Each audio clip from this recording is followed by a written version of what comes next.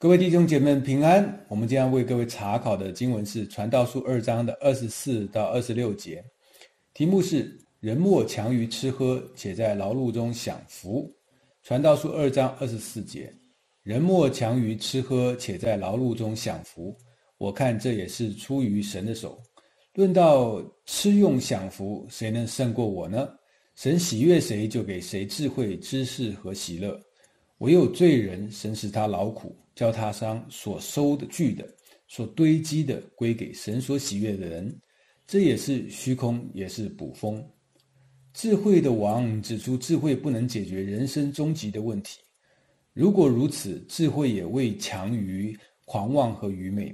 接着，智者又指出，劳碌更是虚空，不但努力的劳苦不能解决人生的终极问题。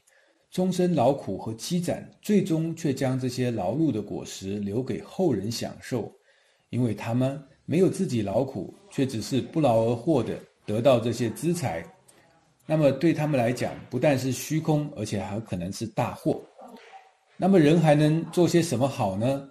智慧有智慧的限制，努力劳碌又被智慧王讲作是虚空。那么人还能做些什么呢？不再努力，只是躺平吗？或者是干脆自暴自弃，或者是作恶欺负他人，可以吗？慢着，智慧的王并没有这么说。不要把他没有说的话塞在王的口中。王说：“人莫强如吃喝，且在劳碌中享福。”这就说是人可以适度的劳碌，为自己赚得吃喝快乐，这是神所允许、所乐见的。怎么这里又说人可以劳碌呢？劳碌不是虚空吗？其实王并没有这样说，他所说的是，如果劳碌积攒的太多，自己不能享受那劳碌的果实，我要把许多的果实留给别人去享受。挂号，别人甚至是包括你自己的后代，那么这个就是虚空，并且还可能会成为人的祸害。王说人可以吃喝享乐，并说这就是出于神的手，那真的是这样子的吗？其实，在上帝造人的时候。先被造的是亚当，那时神就对亚当说：“这园中树上所结的果子你都可以吃，唯独那棵分别善恶树所结的果子你不可以吃，吃的那日你必死。”虽然说有一棵树上所结的果子是人不可以吃的，但是神的确允许了，其他树上的果子都是可以吃的。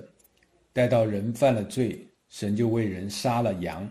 取了羊皮给人遮掩身体，而亚当的儿子亚伯也是牧羊的。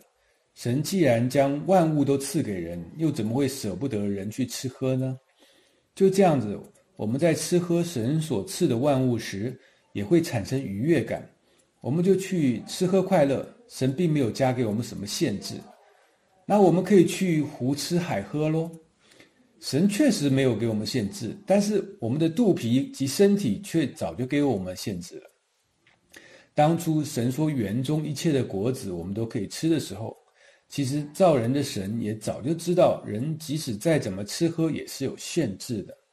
吃饱了会撑，喝酒多了会醉。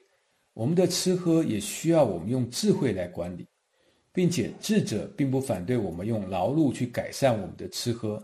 他并没有说我们的吃喝也是虚空，不，至少吃喝是可以帮助我们延续生命的。如果劳碌了，也吃喝了，那我们暂时停止劳碌来享享福，那可不可以呢？当然可以。如果人不知道休息，过分的劳碌，那才是不合神心意的。为此，他还特地的为我们设立安息日，叫我们六日工作，第七日可以休息。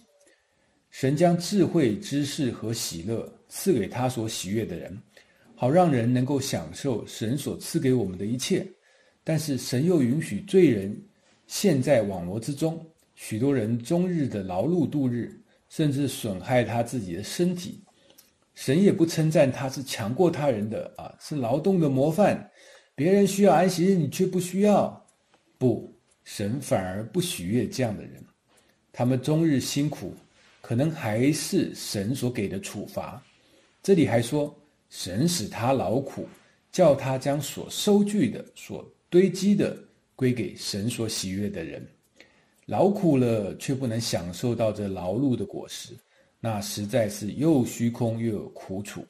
神还使万事互相效力，让爱神的人得了益处啊！当然，爱神的神也必定爱他，这就是有神的手在其中工作的原因。感谢赞美我们的主，阿门。